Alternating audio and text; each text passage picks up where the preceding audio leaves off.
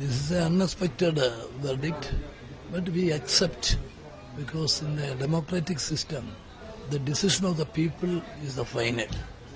So we are accepting the verdict of the Kerala people.